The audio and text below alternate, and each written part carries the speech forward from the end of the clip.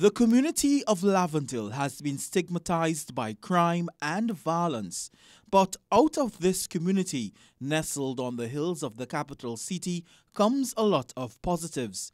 Aquina Alexander is a 19 year old who has emerged as one of the positives with a partial scholarship to St. John's University in the United States to study computer sciences for four years.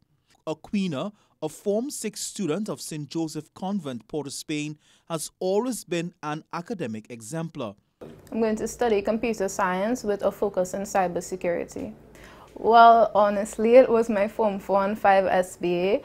At that point in time, I really fell in love with programming and how much I learned through writing code.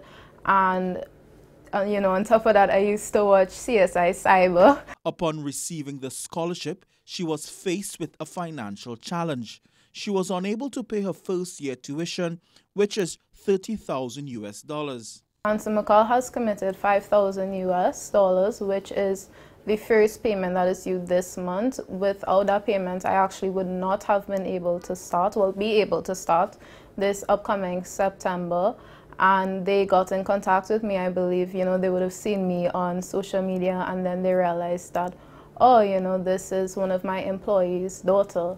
Despite the negativity surrounding her community, Aquina said she is proud to be from Laventille.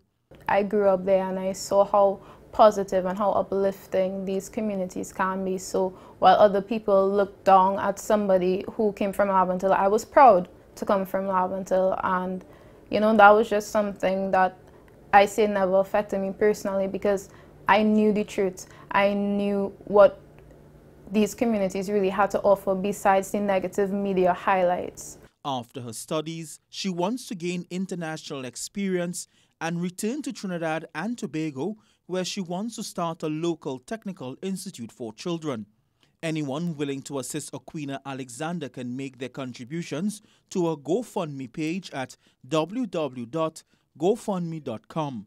Otto Carrington, CNC3 News.